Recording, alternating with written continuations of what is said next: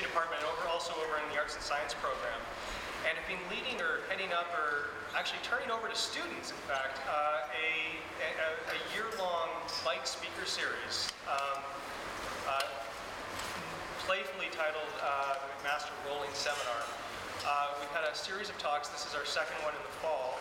Uh, coming up in, in, April, I believe on April 1st, we're still ironing out the details, but there'll be a, a roundtable discussion uh, on Monday, April 1st in the evening on uh, women in racing, and a subsequent one, hopefully a week after that. We're still sort of trying to nail down both uh, times, dates, and potential participants.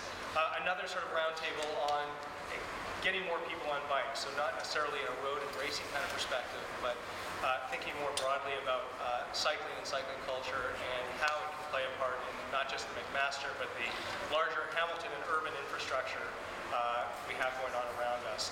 Um, one of the real pleasures of this series is being able to tie it into a couple of classes I'm teaching on bicycle and society. Uh, I've got a number of students who are doing all kinds of neat projects with the city and with various sort of community partners on campus and beyond about thinking about how to integrate bicycles uh, into everywhere we, we are and where we go. How do we how do we make it safer for more people to ride, but in addition, how do we get more people on bikes at the same time? Um, one of the challenges I put to one of my classes was how do you transform, how do you rebrand McMaster as Bike U? Um, and there are a series of interesting projects that are loosely related to the series, but stay tuned. There will be some, uh, some neat, neat, neat opportunities to learn about that. Um, but today I'm really excited to uh, welcome uh, Michael Barry uh, to, to McMaster and, and to the series. Uh, Michael Barry probably doesn't need much of, a, of an introduction. Uh, has been probably Canada's most uh, prominent professional uh, cyclist for the last decade or so. Um, has ridden all over the world at all the, all the major professional races in the World Tour. Uh, has represented Canada on multiple occasions uh, at the Olympics. And in addition to that, uh, has has ridden with some of the well, has ridden uh, against, but also then with, of course, some of the some of the biggest names in, in professional cycling. Um, today's talk is we, we, thought we'd start with sort of a conversation. Um, I'm kind of interested in a whole series of issues related to uh, professional cycling, uh, his experiences cycling, but also going forward from here as well. There are a lot of really, uh, we, have had a series of really interesting uh, engagements over sort of uh, the Milton Velodrome and urban cycling and urban infrastructure uh, writ large. So there's a, hopefully a, a, rambling conversation that we can ultimately include you in. We'll, we'll sort of turn this over to a, an extensive Q&A for people who who, who want to participate or ask questions, we can certainly do that. Um, Michael Barry is also the author of Le Métier, uh, along with a number of other uh, titles, but this, uh, this is a terrific book. I, I really, I'm, I'm, very fond of this book and uh, find myself returning to it regularly, uh, which, which is exciting that Michael Barry, Michael's not just a, uh, this sounds terrible, not just a professional cyclist, but an articulate um, an articulate author who's thought very carefully about what it means to be uh, not just a professional cyclist, but what, what the bicycle means uh, on a larger scale. And, and I really value the book on, on those grounds. It's um, really, really exciting to have him here and to sort of play with some of these ideas. So welcome. Thank you very much. Um, well, the boring story. maybe we can start start at the beginning. Uh, how did you get into cycling in the first place? Um, well, first of all, thank you for inviting me here, and it's wonderful, wonderful to be back at McMaster. Um, I I came down here quite a bit when I was younger, and I was coached by Mirek Mazur, who lives in in Dundas, and uh, we did a lot of physical testing here. And it's just, it was, we went for a ride this morning. It was nice to be back on some familiar roads wonderful countryside. And I met some new people who are very friendly as well. So how did I get into cycling? My um, my father, who's sitting here, he, uh, he owned a bike store in Toronto for a long time and, uh, and has been a keen cyclist since he was a teenager. He grew up in, in Wimbledon in, uh, in, in, England and, uh, and started riding when he was about 14 or 15 and has been, what, less than that? Okay, 10, okay, uh, in the streets of, in the streets of, of London and, um, and he emigrated to Canada, opened a bike store, had a, had a team, and so I, I really grew up immersed in a cycling environment uh, from a young age, I was playing with the, the, ball bearings on the floor in the in the bike shop. Um, was always in the in the back, bothering the mechanics and working on my bike, asking for help and that sort of thing. And really, from a from since I was a small boy, my my heroes, my childhood heroes, weren't hockey players or baseball players, but pro bike racers. And uh, that was somewhat unique in the, growing up in the 70s and 80s, where you know, very, very few Canadians knew much about cycling at all. Um, Steve Bauer later in the late 80s was, or mid to late 80s, was extremely successful, and uh, and he kind of brought brought cycling into the Canadian household. But still, it was, I mean, we were, uh, I think, I would say, yeah, yeah, cyclist cycling was not a, a common sport in North America. Um, but which is, it's amazing for me to come back here.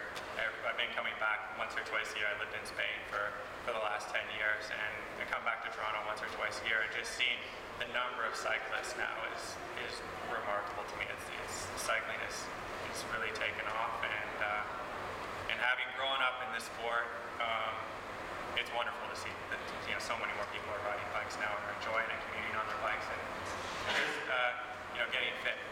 Um, so you know from a from a very young age, since I was two three years old, uh, I already was looking at bikes. I was around bikes. When I was five years old, I rode four or five years old. I guess I rode my first races. Um, I was around my dad's bike team all the time. So and then and then things progressed. Uh, I did other sports in high school and, and through grade school and high school. And, uh, and when I was about 16 years old, I, I became a member of the provincial team, and that's when I started to take it seriously. And, uh, and then from the provincial team, I became a national team member, and and then things progressed from there. All these, I, I eventually achieved my childhood dream of becoming a professional and, and racing in Europe in, uh, in, in the races that I had read about in my father's magazines or, or watched, uh, watched on film. And so that's, I mean, that's more or less it. I've lived, uh, I lived in, in France for a few years as an amateur um, when I was 20, 21, 22 years old. And, uh, and then I got married, moved to Colorado. I lived in Boulder, Colorado for on and off for 10 years, and then in Spain on and off for 10 years as well. So that's, uh, and I've raced with, um,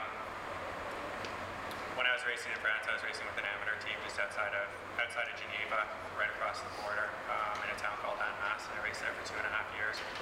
And uh, and then from there, I, I had a series of injuries and uh, and kind of stepped back for stepped back from European cycling and almost quit altogether and uh, came back to North America and I ended up signing a contract with American Protein Saturn, and I raced there for raced with them for um,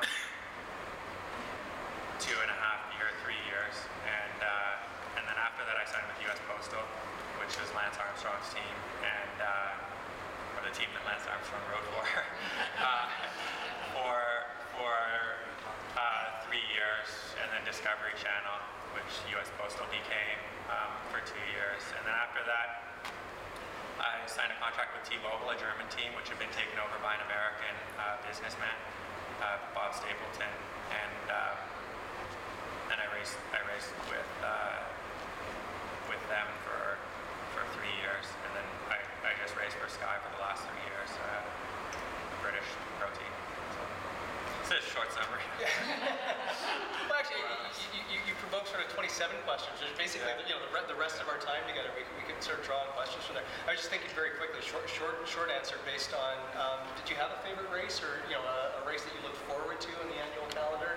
You're right at the end of the, the, the third edition of Le Métier, you sort of talk about sort of realizing this dream of riding the tour for the first time and that being a really exciting moment. But was there a, was, was there a race that was sort of one that you had sort of penciled or underlined as just sort of this was an opportunity, you know, you were, you were looking forward to it, whether it was opportunities to win or to do well, or rather just the nature of the race, or That's interesting. Like, I think the races that I thought would have been my favorite races, um, perhaps in looking back now on them, they weren't necessarily, I mean, experienced them and racing them, they weren't necessarily my favorite races for, for many reasons. And, uh, but when I look back on my career, probably the real highlights were um, when I was able to come back and race in Canada. And, uh, and even just the last two years being able to race in Montreal and Quebec. And because that just brought back a, a flurry of emotions that drew me back to my childhood, and I saw all these familiar faces, and uh, and there's really nothing like racing on home soil. And sadly, like I didn't get to experience that a whole lot in my through my career. Like, uh, you know, as a professional, I probably raced in Canada after my years with Saturn ten times, if that. And uh, so, um, on a on a personal level, like those, or on an emotional level, I guess, though, coming back and racing in Canada was something um, that that all. I mean, uh, those those moments uh, are dear to me now. Um, looking back on my career, as far as races that it's it like cycling is the, a lot of the races there's um, they're extremely intense, really hard, especially the classics. They're not all that enjoyable. They're awesome when you finish.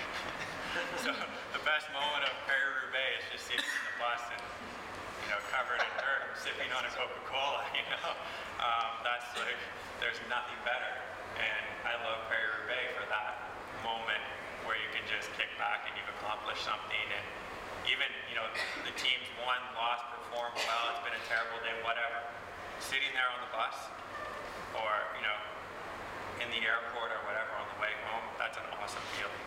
But that's something that everybody can experience on some level. You can go out riding with your buddies here for 200k, and you get back to Chris's cafe, and you sit around and you feel that same that same thing. I think on on a personal level, racing like a race like Paris-Roubaix or the Tour de France for that matter, or the Giro d'Italia, like the the the racing is so intense, it, it's kind of hard to enjoy it.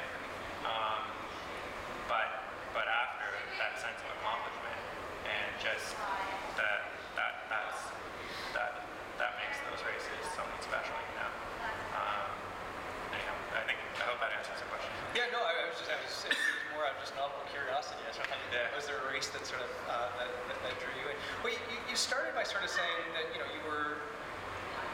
I mean, you- stole my fire. I mean, I was hoping to sort of follow up with a, you know, it's weird for a Canadian to grow up passionate about cycling. Um, and, and then more to the point, even even even more rare for the, the, the Canadian who's passionate about cycling to to make it to sort of the, the professional stage, um, just in terms of the resources, general sort of popular acceptance of opportunities to ride and race here as opposed to Europe and, other places. What what was that like? And at what point was it? I mean, you sort of mentioned sort of coming home from France and then starting out with it, you know, taking a break and starting with American. What, um, tell me about the progression of sort of becoming a professional. I mean, on the one hand, this is a childhood sort of dream and notion and, and, and plan, but at the same time, became, at what point does it become a reality in ways that you sort of thought that this is? Uh, Um, it was very kind of long progression to get to the point where, and I, I, I mean, there were several points where I, I thought it was over in a sense, whether it was with crashes or just, um, you know, emotional experience, whatever s- things that I went through uh, throughout my that, that initial phase of my career. When I moved to France, it was extremely difficult. I went- initially went over there with, uh, well, moving back, going backwards a bit. Um, the national team coach at the time, Denis Roux, he, uh, he was a Frenchman, and uh, he, he had been a professional cyclist, had a lot of contacts in France.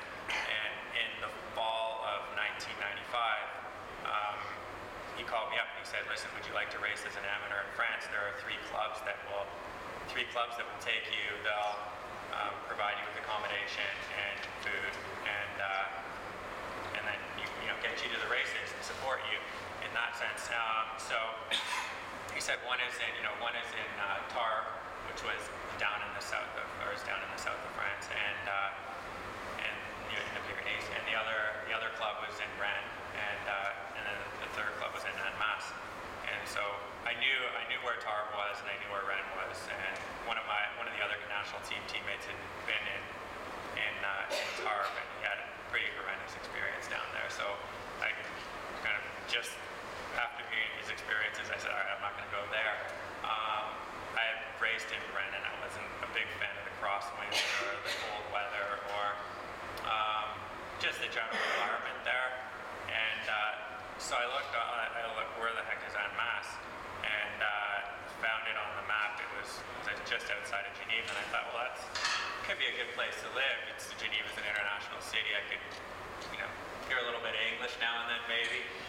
and uh, so I, I said to Denis, yeah, I'll, I'll do it. Um, at the time, I was going to U of T, and uh, and so I dropped out of school and decided to go and uh, and race in France.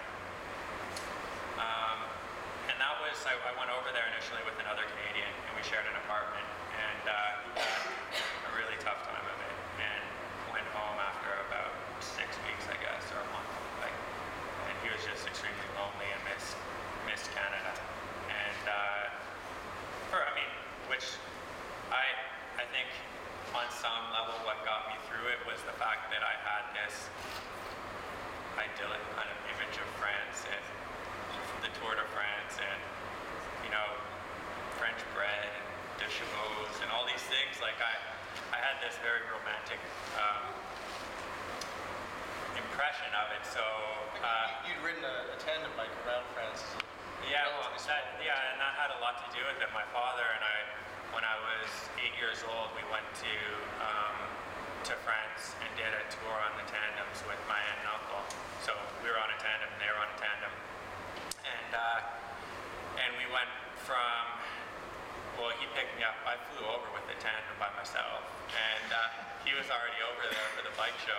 So um, I think it was the bike show, or you did a tour of the bike show, yeah? and. Uh, and um, so I, he picked me up at the airport, and I, I, uh, I, I um, we, we actually rode the tandem from the airport to, yeah, the train station, Gare de Lyon, I guess, and uh, and then from there we took the train down to um, Grenoble, and that's where we started this tour, and we rode from Grenoble to Marseille, and uh, and it was awesome, like.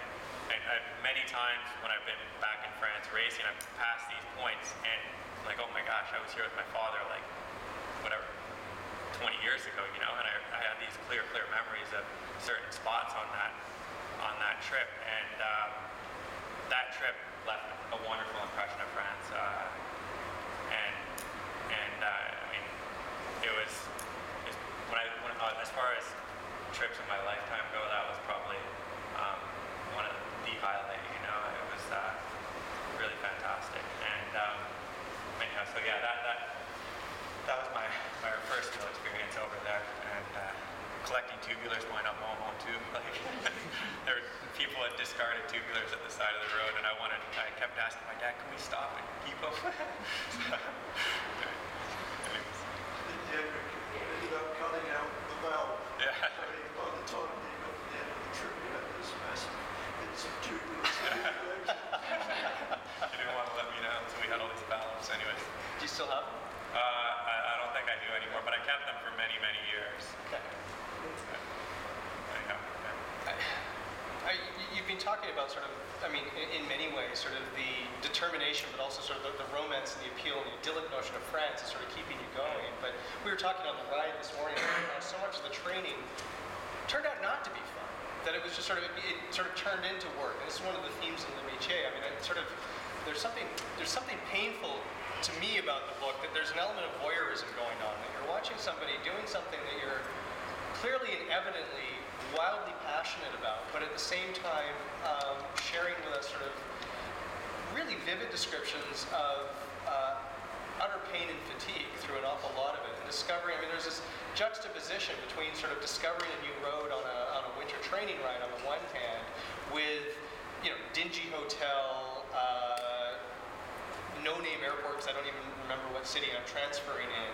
Um, that sort of paints sort of you know two really different stories of this experience. And you were saying again earlier that at what point does this sort of become both a dream on the one hand that's sort of pushing you or pulling you th- pulling you through the, the, the less pleasant times, but at the same time being a difficult feature of, of something you're supposed to be enjoying, supposed Yeah. to be uh, passionate about. I think that was something that was um, kind of progressively changed through my career as well, where uh, you know from a young from a young age, I just I loved being on my bike. For me, it was really a lot of fun, and after school, I would meet up with a couple of buddies and we just go ride in the parks in Toronto or head up north. And there was never a whole lot of structure to it.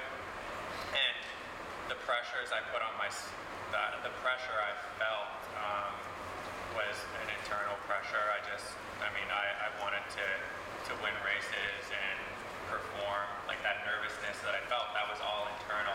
I didn't, I never was pressured by my parents or um, family to, to win bike races, or they supported me through the whole time, but never did my dad say, like, oh, you should probably go out and train today, you know? Never did I hear that. And then when I was 14 or 15 years old, and then started, I was integrated into the provincial team and then the national team, that started to evolve, and it started to, there was, at some point there was, I felt, there was an external pressure for me to, I felt anyways, um, to to hold that level and to do a certain amount of training and um, and basically to stay within that team I had to be doing what the, the training program I was assigned and that sort of thing.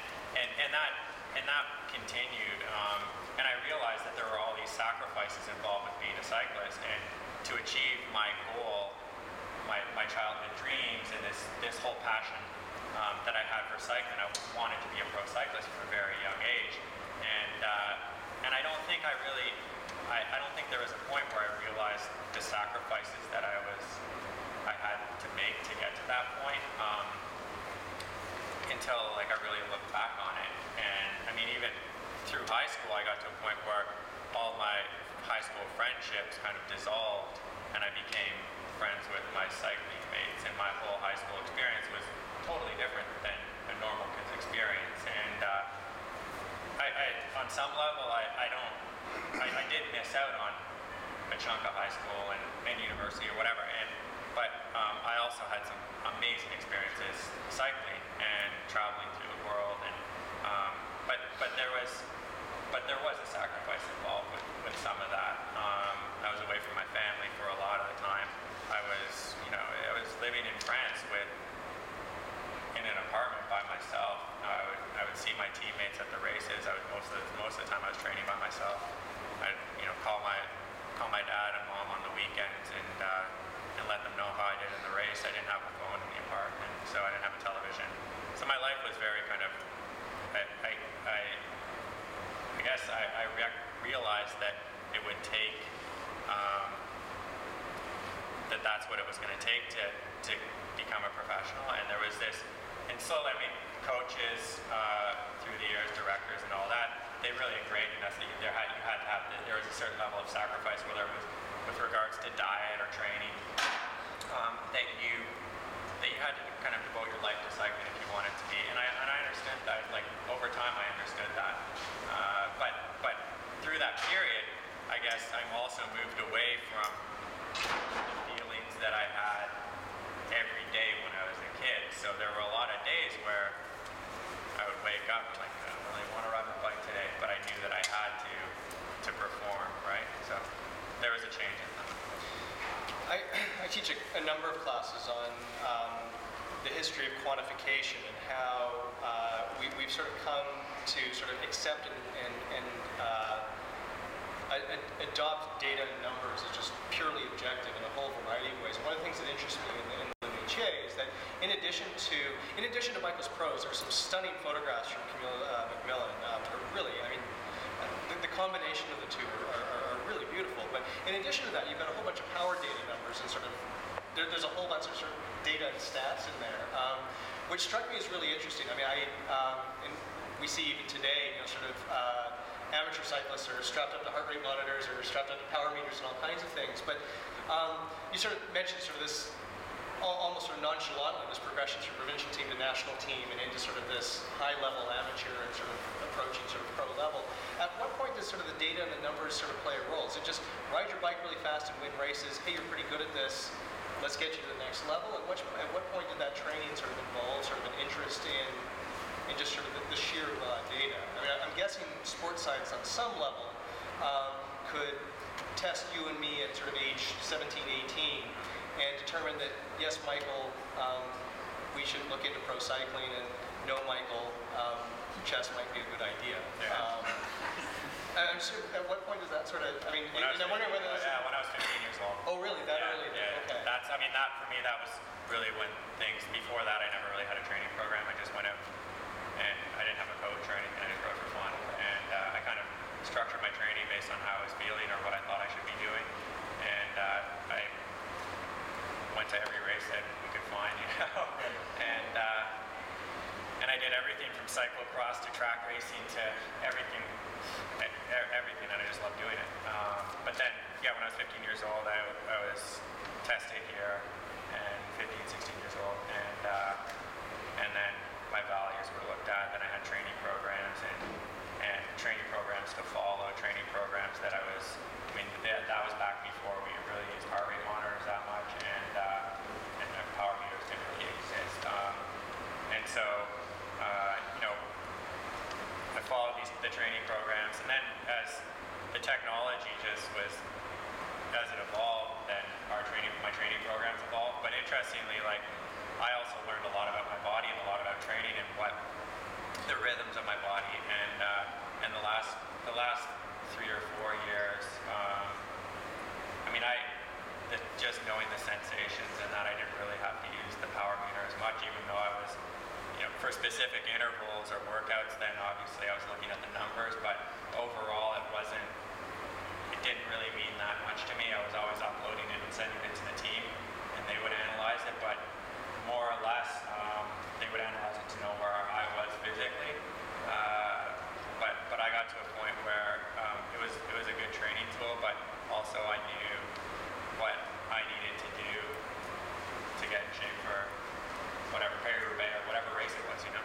Because there were peaks and valleys and you were, you knew to be training. Yeah, exactly. And I think over time, like when I was when I was younger, I just I would follow that training schedule um, or the training program exactly you know, to what it said. So if it said ride ride indoors for two hours, you know, every day of the week through the winter, I did that. And then uh, later on with Sky, we had some amazing sports scientists and and also just figuring out the rhythms of my body and like how important recovery was and just being fresh mentally and physically. I started uh, taking more time off, letting my body recover properly, and then really training effectively when I was training. So I think a lot of athletes make the mistake where they um, they feel guilty if they're taking a day off or if they're doing an easy ride and they want to push all the time. And uh, but uh, really, like you need that to, to reach the, the peaks. Otherwise, you just kind of flatline all year digress. Interesting to me on the as someone who doesn't race, that, I mean, I, you know, so much of racing obviously involves sort of tactical nuance, actually being smart on the bike. It's not just about who's going fastest, but rather identifying when there's a moment where one can take advantage of an, you know, an opponent's weakness or whatever, to take it, you know, to, to, to take advantage of that extra strength or power and things. But, um, which is harder to quantify, harder to measure, obviously, compared to sort of the, the, the straight out uh, strength, endurance, what have you. Um, I just again at 15 though, I, identifying that clearly you were you were good at this, um, smart at this as well. But is that something that can be trained or taught, or is that just an experience based? I think, I mean, I had probably an advantage from a young age that I was immersed in it, so I understood the tactics and how races unfolded, and, and I, I grew up understanding, you know, sitting in, in a wheel slipstream and all that, and that's that's actually like quite a complicated thing for, for most people to figure out, like the pack dynamics, the, how the peloton flows and all that. But because I think having been on club rides from a very young age, been taught how to ride in a group from a very young age, and then also just watching every bike race that I could or reading about them in the magazines probably gave me an advantage from a young age tactically. Um, but But presumably, I mean, I don't. I mean, that's that's just what I would guess, but I don't know what the other Yeah, guy yeah, yeah. experiences. I was, I was, but, but presumably from a from a coach's or from a team's perspective, um, physical abilities is, is the most obvious way to reduce margins for error and things like that, and sort of maximize potential. It's based on just sort of physical endurance or ability. Yes and no. I mean, it's interesting because um, cycling, what makes cycling such a great sport, it's really hard to predict winners for the most part. Um, cycling is, cycling has evolved to the point now where maybe it is becoming more predictable, but uh, just because of the, well, that's, that's another story, but Let's come back to that. the, uh, the, um, uh, what, that, like, it, it isn't always the strongest guy that wins a bike race. And, uh, or in a lot of other sports that the strongest person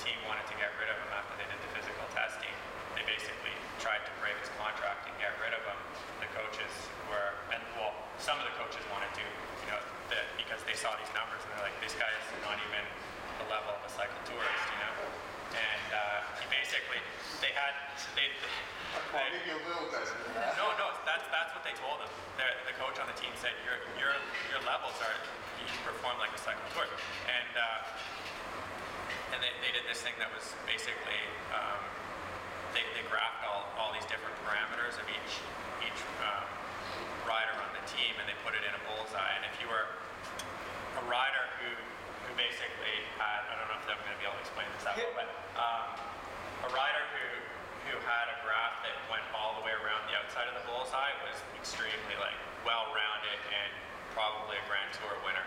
A rider who had the line, this circle, the middle of the bullseye is useless, right? And Mark's went was like almost all around the bullseye except he had this peak of peak power, which was like off the charts, but the rest of it was. And and Mark was a young kid. I think he was like 21 or 22 at the time. He was just pretty upset about all this. And a week later, the first race of the year, he came within you know centimeters of winning it. And uh, and then he won 13 races that year. And um, he's uh, it just shows you like physical. He had he had one strength, but he could get through these the races and uh, perform extremely well just based on that one strength, even though a lot of people would have written home. So. And that's, that's, a, that's a mentality thing as, as much as anything. The capacity to suffer, the, the ability to. Yeah, and uh, and And not to say he doesn't work hard, but again, the data, the science. I mean, I know, like I know Mark fairly well. He works extremely hard. He can suffer like a dog, and uh, he knows his strengths. He knows his weaknesses, and um, and, he comes across as supremely confident at the same time. Yeah. he's he's. I mean, yeah, he's he's. Uh, he comes across as really confident, but it's interesting. Like when you're there, he has a persona in the in public persona that's very kind of different than what we experience at the dinner table or in the room with him we're sharing rooms and that. And he's extremely considerate and just uh, not that confident people aren't considerate, but he's like he comes across kind of as this brash, arrogant kid sometimes in the media, and that's I think that's his sprinter persona.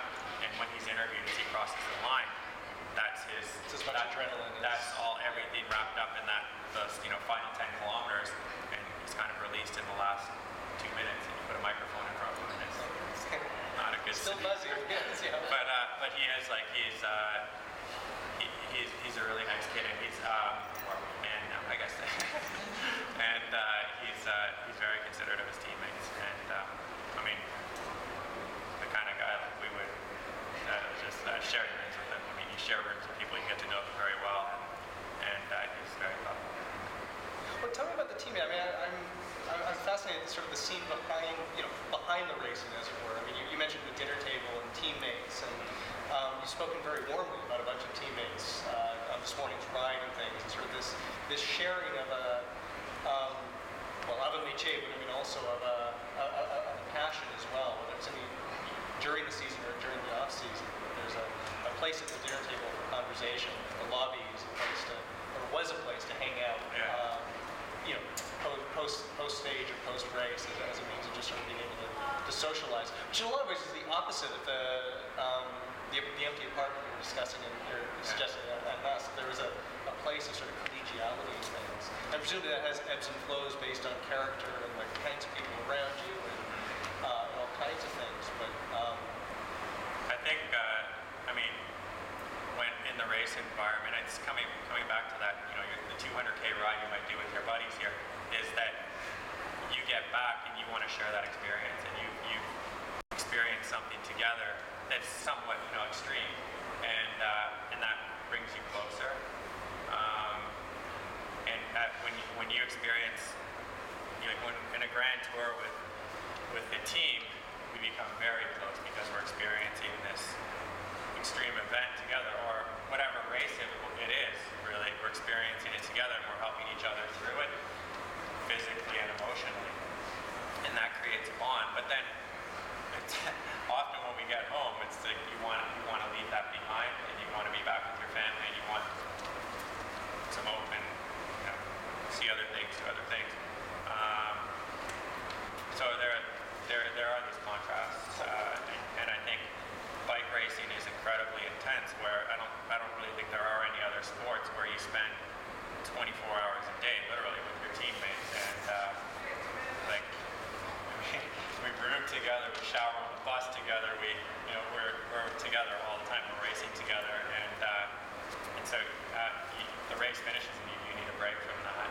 Um, but then after a while, that you you start to miss that that feeling of camaraderie, and that's probably one of the things that I'll miss the most about bike racing is just that that feeling of camaraderie with uh, with with my my teammates or you know built-in Yeah. support network. Yeah. Sort of, I don't think uh, it's not not even- support. I mean, support's not the yeah right word. no right it's just like yeah like friendships built on experience you know But through sort of a mu- mutual experience, mutual successes and failures, but also just sort of a, a, a shared passion on, on the bicycle Yeah, itself. yeah, and I mean, yeah, yeah, exactly. Um, and that cha- there was di- that that was very different with different groups of guys I was with. Some I didn't I didn't really enjoy being with at all. Some teams were more difficult than others. Some, you know, uh, but I would say like in the last couple years, maybe it was as I matured as well. Like I, I came to enjoy it a whole lot. You obviously changing teams, race with a lot of people at different stages, um, uh, different stages of their careers and yours. And, and things. But there seems to be uh, one of the things that struck me in Le Métier was a series of, uh, of photographs of you out on training rides. First thing that sort of made me sort of take note again as a total outsider was that you were I mean there were endless sort of cafe shots of you with four or five different guys from totally different teams that you know obviously uh, mostly North American not exclusively but mainly North Americans. Um, but uh, all wearing sort of different team jerseys or different bike or whatever and I just sort of was curious as to how that I mean you know we, we think of um, obviously there's there's a degree of uh, of, of sporting mentality in any kind of competition that one ha- has to have respect for opponents and things like that. But there's something sort of curious that these weren't the teammates. This one, you know, in terms of that camaraderie, obviously in race that matters, but off season, they're guys you must be seeing on a daily basis in, in the races you're racing against them. But the Yeah, uh, cycling's very unique in that way, where uh, you do train with your rivals, and uh, I mean, I I was living in Spain. Um, I, I had we had a group of there are 60 professionals living in Girona now, roughly, maybe more, maybe 70 this year, and uh, so guys from Australia, all over the world, really now. Pretty much all the foreigners have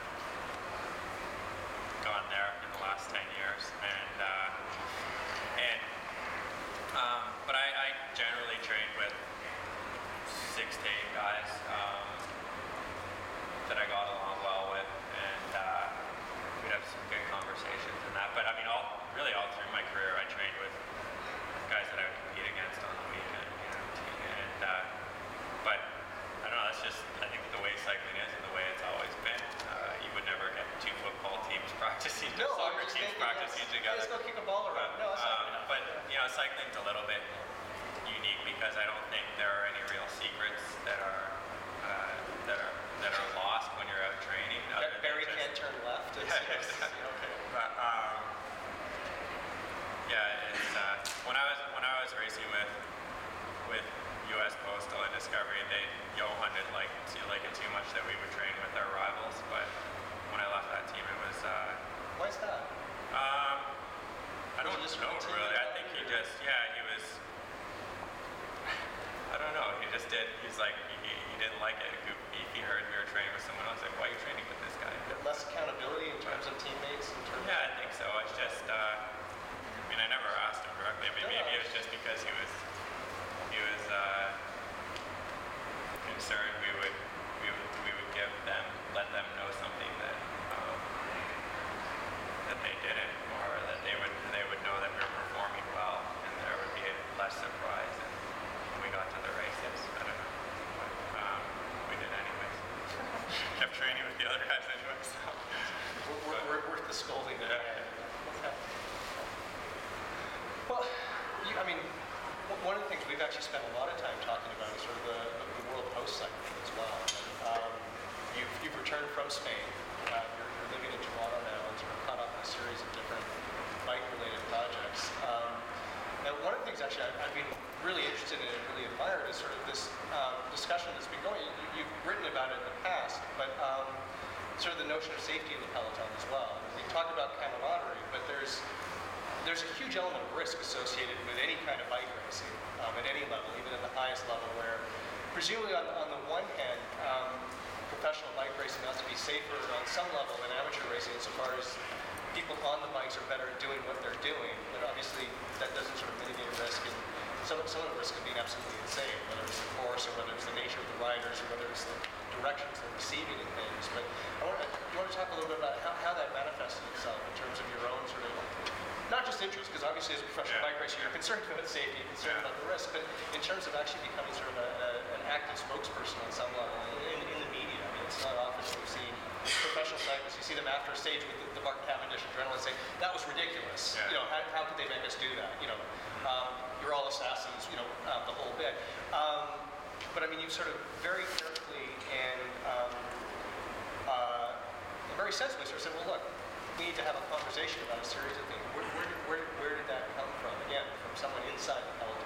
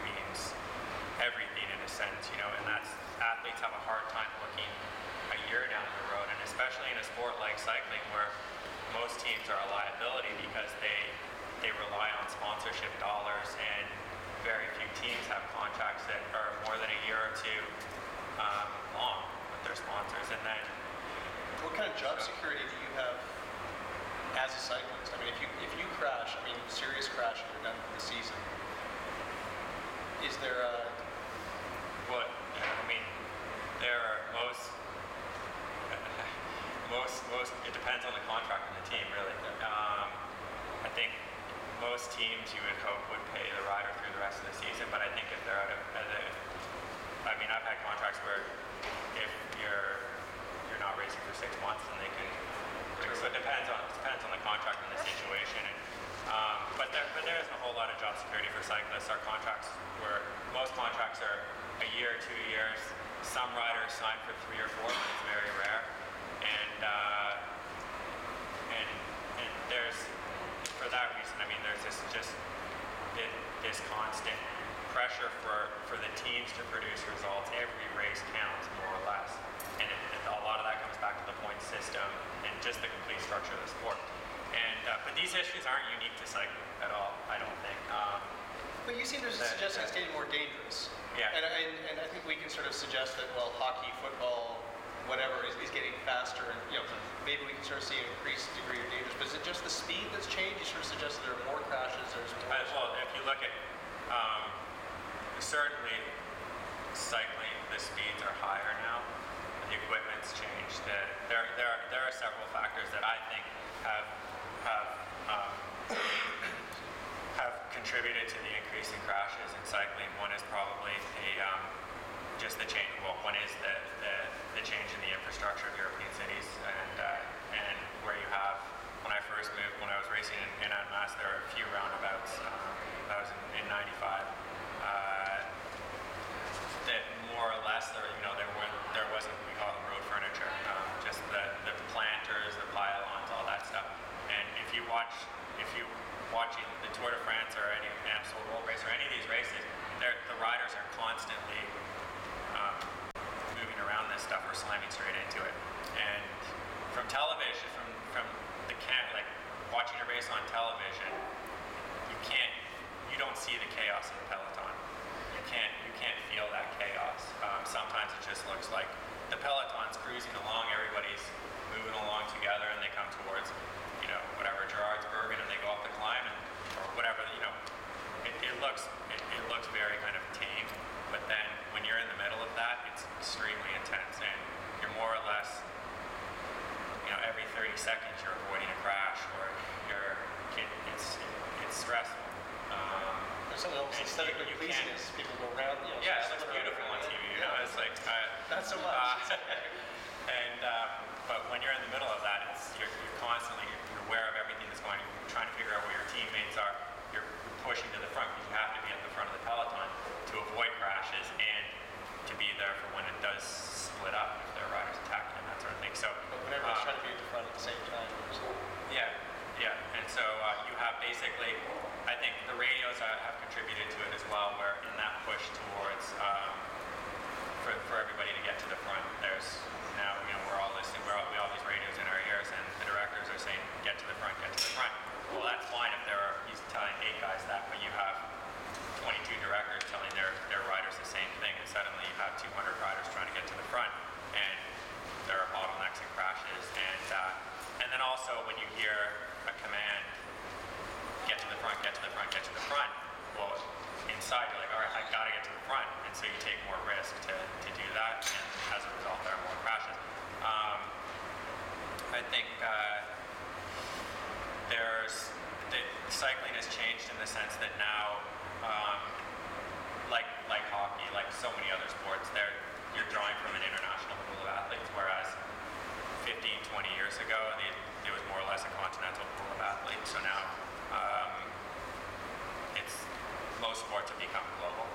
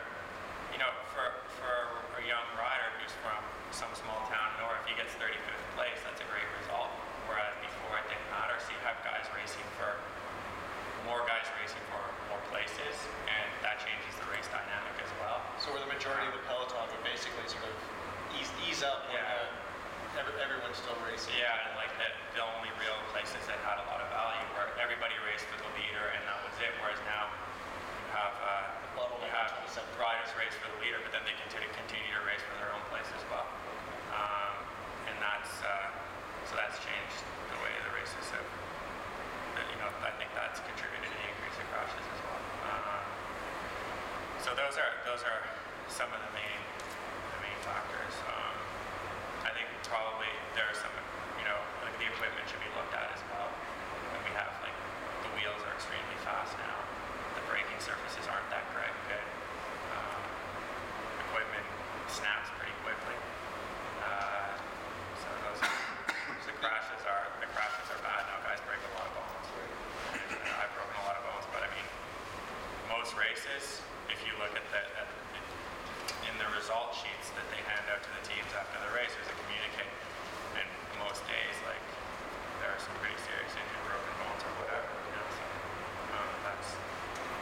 things should be identified. And I don't know.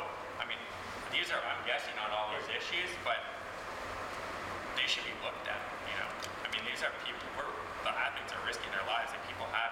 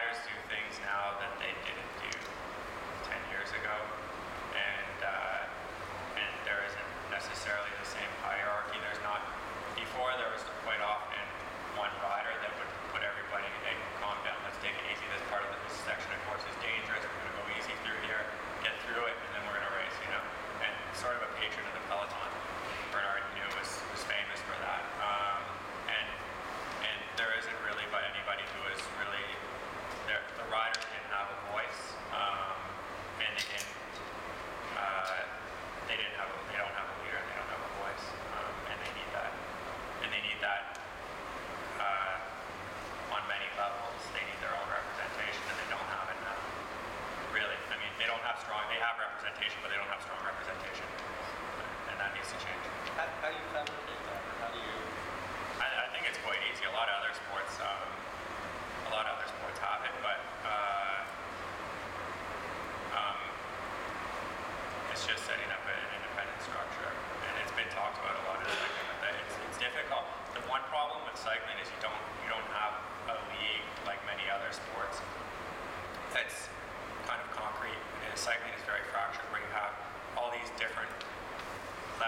teams that are racing together. So different countries, nationalities, and they're all under um, under the UCI, but they're all kind of fighting to survive within that structure. So there's not a whole lot of solidarity, and it comes back to this these teams being more or less liabilities, you know, where they're not they're, um, they're there's not a, not a whole lot of security. Even the best team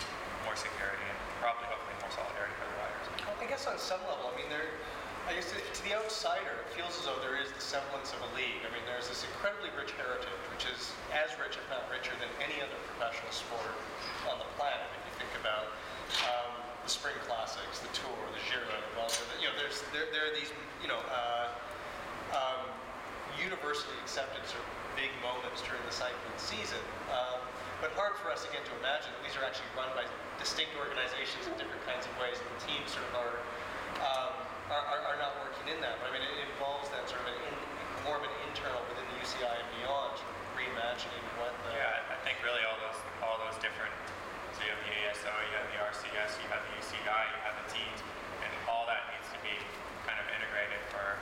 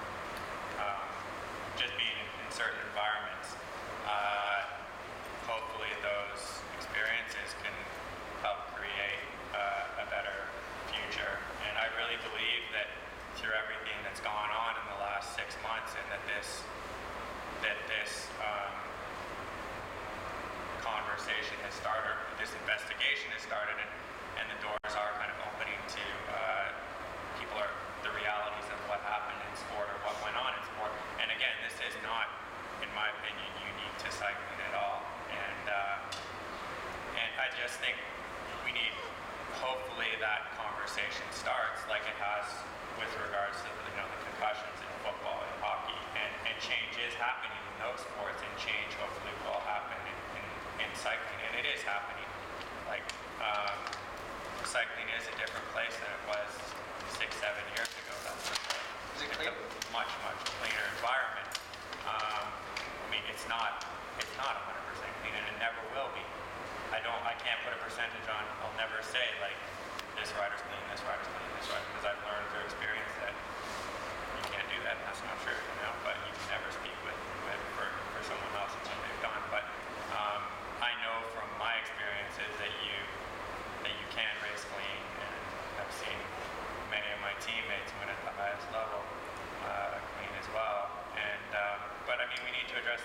Safety issues that. Um, that well, all I mean, everything we've been talking about, you know, and uh, and it, it'll and change will happen quickly. And, uh, It seems though there's a larger We sort of just- we cloak. do of- talk about it. Yeah, well, it just seems though there's a larger cloak of secrecy, whether we're talking doping, whether we're talking safety, whether we're talking all kinds of things. It's, it's best to ignore or pretend it doesn't exist or, or shove to the side or whatever. Um, there's a fear around it all, and that's like a lot of. I mean, there's in cycling they talk about this omerta where uh, where people don't talk about it, but I mean there are many reasons as to why athletes, including myself, did talk about it, and it was. I mean there was there's a lot of fear around. Yes, I I, I, I should have spoken about it, but had I spoken about it, I would have lost my job. I would have been vilified. I, there were all these fears and uh, and suspended and all Inside this and stuff. outside, Yeah, inside and yeah. exactly. And and for that reason, um, athletes don't talk about it. Team team managers don't talk about it. Team doctors don't talk. Very very few people talk about a problem that was massive. And I would imagine it goes on in other sports. There's, you know, you, there are, uh, with, with, you know, regards to fighting in hockey, not a lot of, not a lot of players want to talk about this stuff. It, you know, it's the, it's the retired players that do speak up about it. Athletes that are in teams are, in, in that environment, obviously their jobs and livelihoods depend on them kind of not being vocal and rock the boat and whatever. And there are there are many instances in cycling where guys who did speak up and they were pushed out of the sport. And uh, and and to really solve this problem, there needs to be um, you know more transparency. You, you mentioned, just not to, I mean, just to tie, tie, tie, tie, a knot on the end of this one, um, you mentioned early on in, in LimHA, sort of riding with Steve Bauer at the 96 Olympics, which is sort of, in many ways, your entry point, his swan song in terms of professional cycling. Um, and you sort of say, you know, it sort of tells you, I'm really glad I'm giving up what I am. Yeah. Um, in, in terms of that, in a lot of ways, I mean, I just sort of, again, in terms of this larger sort of openness, transparency versus secrecy, that it seems to me that, I mean, cycling in the 90s, or what I remember of it, it, it almost did seem sort of like a wink, wink kind of thing. Insofar as, I mean, you know, superhuman performances were, were, were, were happening on a regular basis. Guys who were, you know, defying the laws of physics based on how quickly they were going uphill, given their relative size or, or, or what have you, seemed to be sort of the norm. Where that sort of has, has transformed itself, but at the same time, we're seeing, you know, whether it's whether it's full transparency or not, I, I, it seems though we can suggest that there's a great deal more transparency or more people willing talk about it. Those retiring, but not even, I mean, it seems though that a lot of the rhetoric within the peloton has changed as well, whether it's, whether, you know, how much of it's window dressing or not, I, you know, I don't think we need to explore, but I mean, it seems though there's opportunities to talk, whether it's, you know, whether it's Tyler Hamilton or whether it's people, you know, who are still racing or sort of, Yeah, and I think that there, the biggest thing in cycling, and this this doesn't go back to the 90s, it goes back to the first Tour de France. Oh, of course, you know? yeah, right. And uh, and it was really part of the culture. And cycling is a bloody hard sport, and um, doping has been a part of the culture in cycling for forever, really. Um, obviously, it changed with the different drugs that were introduced to the peloton, and so we're, not talking about like getting rid of EPO or getting rid of, we're talking about changing the culture. And, and, uh, and changing the way that basically that, that whole, yeah, yeah, changing the culture essentially and getting rid of that culture in sport and cycling. And, uh, and this dialogue is changing that.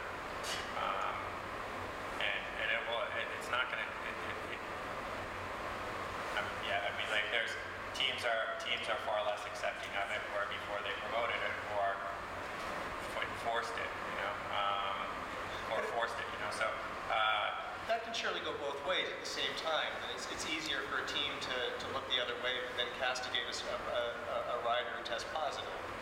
that, I mean, I can discourage it, but I'm not really paying attention until you test positive, and then it's, Well, that's, I mean, that's part of changing the culture Okay. and, and creating an environment where athletes don't feel that, where it's not an option, or they don't feel that they don't do this. have to do it. Yeah. Yeah, exactly. Like, um, I think in the past, teams would kind of turn a blind eye to it, and, uh, and if their rider was winning, then they were okay. They they never questioned it, um, even though everybody else around the team was thinking, what's going on with this thing? So, um, I don't have a segue. I mean, I've been looking for a segue for a while, but um, what is the relationship between racing and not racing bicycles? And we've talked a little bit about. Um, I, I've been interested. I mean, the, the nature of, uh, of a couple of our conversations preparing for today had an awful lot to do not just with racing in your career, but also, I mean, coming back to Toronto and oh my goodness, all these bike lanes. Um, that whether you, you're just a guy who's got bikes on the brain, or whether there is, you know, a, a, a relationship here in terms of how we. And that's not to say bike racing will lead to better urban infrastructures and all kinds of things, but I'm wondering if there's sort of a, a growing sort of population po- po- popularity around the bicycle. I mean, we're seeing it in urban centers the world over, but whether there's a relationship here or a place to talk about. Um, whether there are different sort of species and genuses of bicycles, or whether they're all part and parcel of the same technology, experience, I- mentality. I, I, I mean, there. yeah, no, no, I know. um, I, when I, and I'm, I'm in a, maybe a good place to talk about this right now because I've been thinking about it a whole lot. And over the last couple of years, and I knew I was going to retire um, at the end of last year, I had, in 2011, I decided that I wanted to be with my family a lot more. Was, I found it extremely difficult. My dad came to the Giro with with our kids and my my fam, the whole family, and uh, and when they were there, so they had made this trip, and the kids I hadn't seen the kids in.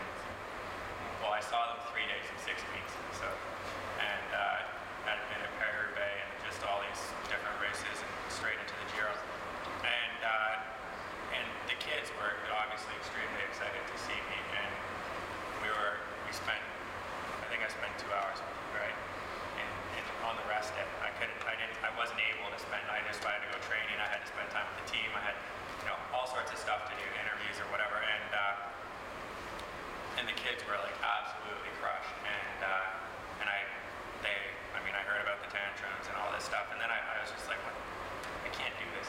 It's not fair to the family. It's not. And it was heartbreaking to me because I was missing out on a huge. Uh, a huge part of their growing up, and, uh, and I really like I just don't want to in ten years regret missing this time. And um, anyhow, so that was kind of the moment I thought this is I want I I had another year. I was going to race one more year, and I was going to get and. Um, so uh, during that period, I reflected a lot on my career, and it's interesting because you, we, I'll speak for myself. I set these, I set these goals through my career, and I achieved the goals, and then moved on. And whether it was, you know, we were talking about before, provincial team, national team, and, and you just keep, you, go, you, you keep going.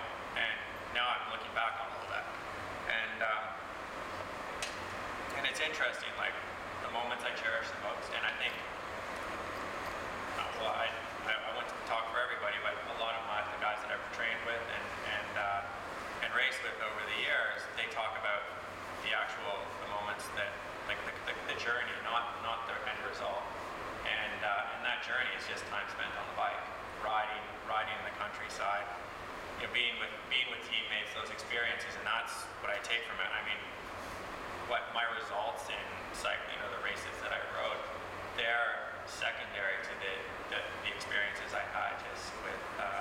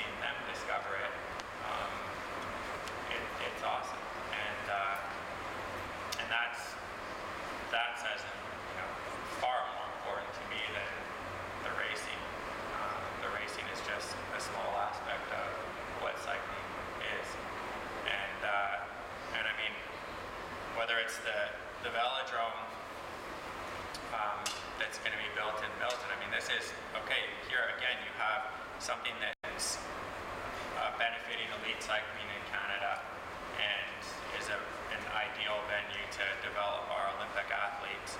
But then also, this is a venue that can be great for grassroots development and not even teaching, not even like having anything to do with racing, but just teaching kids how to ride bikes in a closed environment and teaching kids how to ride bikes um, in a, yeah, a safe environment, ride them properly, instruction. And this, that is something that will benefit Ontario, Canada, and um, it goes far beyond professional cycling or amateur cycling or whatever. But uh, when you have so teach kids at a young age how to ride a bike properly, they'll be safe in the city, they'll be confident in the city, and overall, a city of people riding bikes, it's a lot more livable place than a city of people in cars, and uh, and you can see that throughout the world, and that's This is a, a, a big feature of the Milton Velodrome looking forward as well. Is what you know, Pan Am Games is great, but what do we do with it afterwards? Yeah. You're talking a little bit about sort of again creating opportunities for inner city kids, putting kids on bikes, um, which serve multiple purposes. Yes, getting them to exercise, but to learn how to ride safely, and to think about bicycles, whether or not they ultimately become regular cyclists or not. Sort of having them think about a world that involves bicycles. But you also sort of mentioned that coming back to Toronto, the city's changed dramatically. How does it compare with? I mean, you sort of, we, we were also talking over lunch about how London has changed almost Yeah. not overnight, but I mean very, very yeah, quickly. very rapid. Uh, in Barcelona as well. How does Toronto compare? I I would say Toronto's kind of at the point that those cities might have been uh, 10 years ago. And when I first moved to Spain and Barcelona, I was amazed first at the lack of cyclists. There were very, very few cyclists in the streets, and I thought this is crazy because the, the, the climate is ideal for cycling there. But then you realize that like the, the way that people were driving and the, the amount of cars, the number of cars on the road, um, made it a pretty scary environment to ride a bike in. And then very quickly, because of, I mean, Barcelona was a polluted town. It was one of the more polluted towns, in the Western world at that time, just based on the geographical, um, well, many factors. But uh, they started implementing, well, they, they developed a bike bike sharing program, put in bike lanes. They, um, but that was just that's a small aspect of a much bigger change that happened in the city. And uh, and suddenly, I mean, you, there are tons of bikes there now. People are riding everywhere, and it's it's really nice to see. And similar, and uh, similar things occur. And London's not a great place to ride a bike, and, uh, and downtown London is amazing. You know, when, I, I went there several times with my dad, when you know, like when I was younger, and it was horrendous. They were just like you couldn't cross the city without being in a traffic jam. You you would know, right? It was like brutal. And now downtown London is incredible. It's just awesome. It's so easy to, to get around, and uh, and that, that happened pretty quickly. And, and Toronto now, I mean, I come back and I'm just astonished at the number of cars and the traffic jams and uh, and just the overall uh, just craziness of it. And uh, and something needs to be done because it's getting to a point where it's not that livable.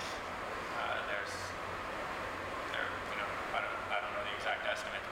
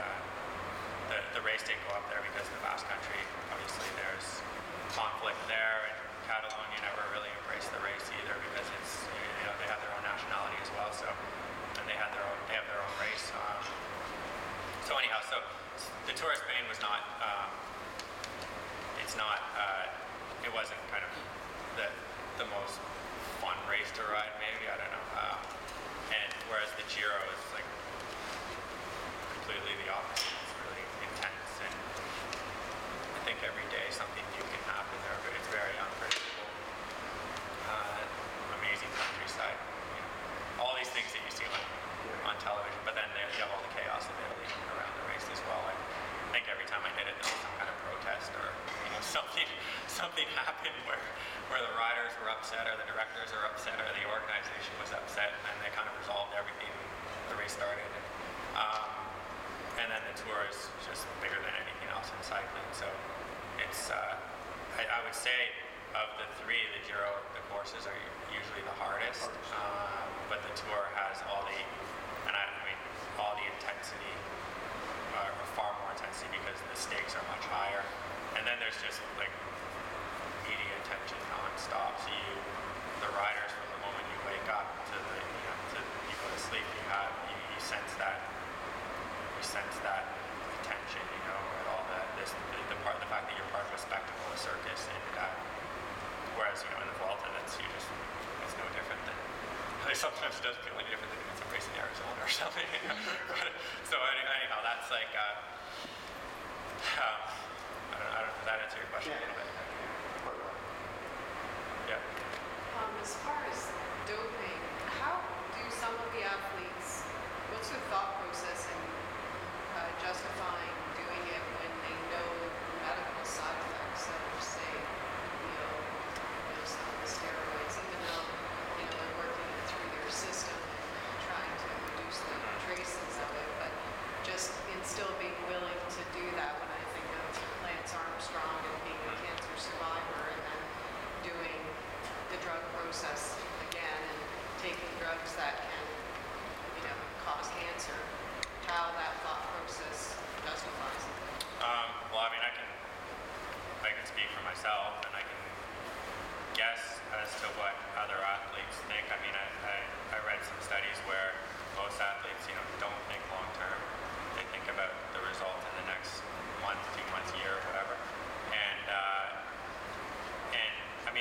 It's, it's it's similar to when you look at these extreme sports where where the athletes are willing to take massive risks that they know, you know, they could die in a second, but they're willing to take those risks because they're not thinking they're not thinking long term. You're just embracing the moment, and it- it's somewhat similar in that sense. And um,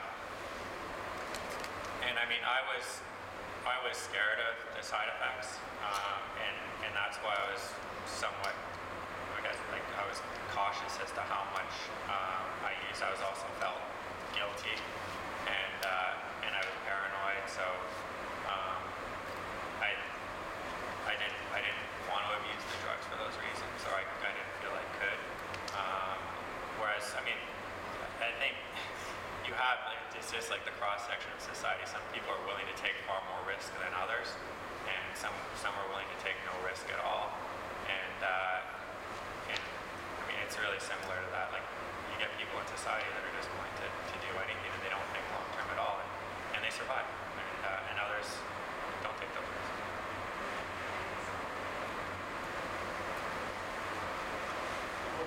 Uh, do you think the Grand Tours have been more interesting than no team radios? Um, that's uh, well, I, the the, the uh, bike races in general. I mean, I think that from my experience, the races I've done without radios, the riders have to think a lot more for themselves, and uh, and it, it, it adds another element to the race. I don't think radios really make the races any safer. They make them more dangerous, in my opinion. Um, and uh, and I mean, it's. I think this is something that's going to change through with time. Um, but I, I don't think they add anything. I think they they change the dynamic of the race, and you know, what we were talking about before, they, they create more controlled racing, but then also you're eliminating a huge factor of bike racing, which was the the rider's tactical intellect, and and suddenly that's like the director is taking that role, and the director has a television in the car. The director is hearing everything over the race radio. The director can see how the riders in the breakaway look on television. All this, all these factors that the rider in the peloton or the rider in the breakaway doesn't know. Um, and, and that changes the dynamic of the race. I think it makes the racing far less interesting as a result. Um, we, you know, when, when I was pulling on the front, uh, and we had the race radios, we were getting the time, the time checks constantly. So I knew exactly the speed I had to pull at to bring back the breakaway. So suddenly, like, it eliminates like the, the chances of that breakaway succeeding are Mean unless some there unless there's a crash in the peloton or we just blew up, which happened. I mean I, I don't even think it happened at all. You know the team was able to gauge that time very easily, and so um, I don't know. I I think racing is more interesting without them. When you watch like the junior the the Espoir World Championships where they don't race on radios, it's they're, they're, they're attacking like mad at the end, and there's there's far less uh, cohesion amongst teams, and um, and, and the just generally is more interesting. So we, we get a couple of Pizzatos thrilled that he's won the race, although he's finished second. But at the end of the day, there's uh, Yeah, it's less less formulaic Yeah, yeah, kind experience. Based on, if I can follow up on that, I'm just sort of kind of curious if there are. I mean, you mentioned sort of people you really admired growing up and things like that, but I'm sort of wondering whether within the, the peloton during your time in it, whether there were guys that you, you especially admired for precisely the capacity to to think for themselves or were you know were interesting riders that you you know not necessarily the strongest or the fastest or the the most determined, but the guys who Yeah. clearly just knew what was going on around them yeah, in ways that they didn't need the radio to tell them that you know there was yeah. Uh, Steve Bauer's in the back there. and uh, when I was when when we before the Olympics and we were uh, we were we were racing together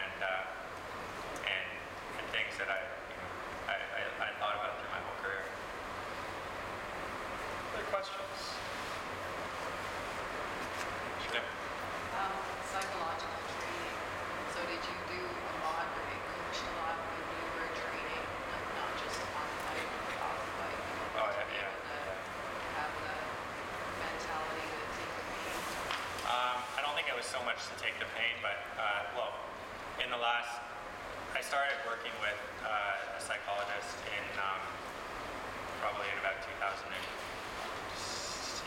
2007, 2008, and I worked with him for for a year or two, and then when I joined Sky, um, they they have a psychiatrist who, uh, who more or less, I mean, is Dave Brailsford, the manager's right hand man, and uh, and I work closely with him, he's brilliant, and he more or less set up the whole structure of the team and the way the riders are treated, the environment that was created, and, uh, and, and a lot of their success is due to um, you know his work with the team, and uh, and I, I mean I benefited from from working with him on a on a on a racing like professional level racing, and then also I mean he helped out with issues that I was having we were having at home, just like with the travel schedule and like you know small things that were. I mean, the, the thing with coming back to maybe coming back to the start of all this is to be cycling is not just five hour a day job, but it's a 24 hour a day job, and he was there to ensure that we were happy 24 hours a day, we're happy, there the whole thing was yeah, if you have happy athletes, they're going to be performing well, and uh, and he helped with that. So I, I don't think I, I never really used anybody who was like if you see yourself as like a tiger before whatever you know like that that didn't do a whole lot for me. And uh, like the whole I mean some sports sports psychologists that you have to imagine you know have this image of yourself winning and all that for me it was like there is often far more just practical things on a day-to-day basis on how to deal with certain circumstances in, in my life whether it was you know an injury or uh, or you know something that was going on with the kids or you know they're stressed at school or something. Like that so he helped us work through those issues yeah Um, so moving forward now in um, your career sort of past cycling, um, what lessons have you learned or skills have you learned through your experience in cycling that you're now going to be able to use moving forward? Um, well, and, and I've learned to be, like cycling taught me to be patient and persistent. Uh, those are the two big things. I mean, nothing, nothing came easy, and uh, and I think when I did, when I did dope, then I, I learned some some real lessons in that period as well.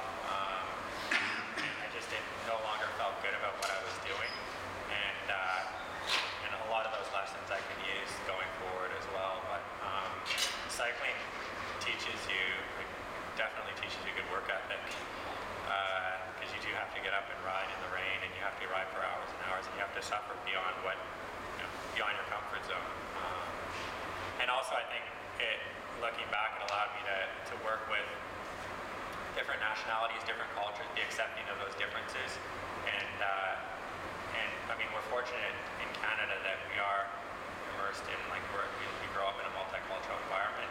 Growing up here helped me in cycling, but the experiences of actually working in an intense environment with people from all over the world, uh, I think.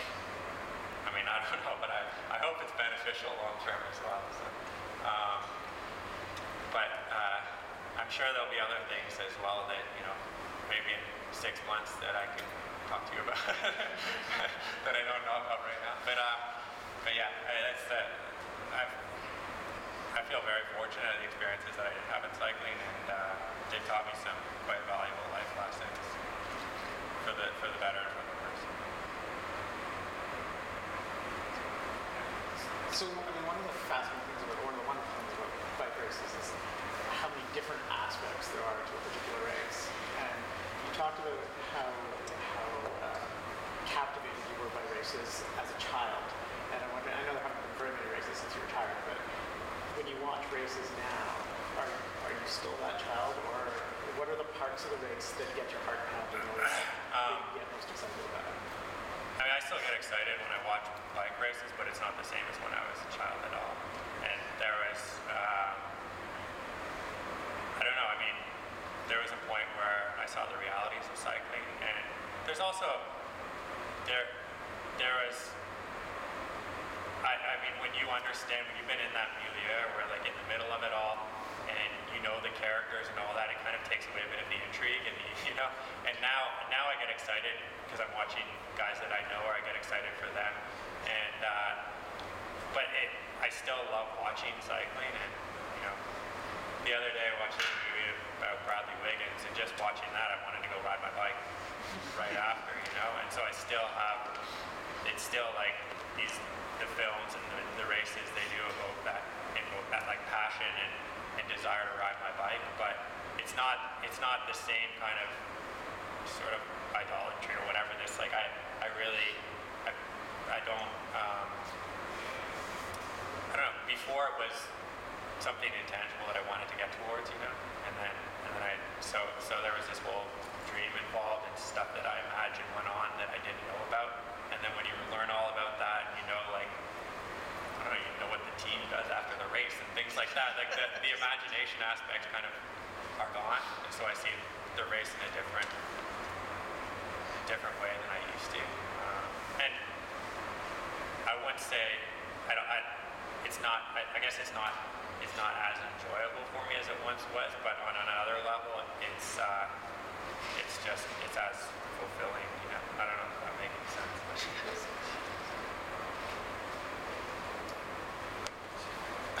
Well, let's, let's, let's put an end to this. Thank, please join me in thanking Michael for a very stimulating talk.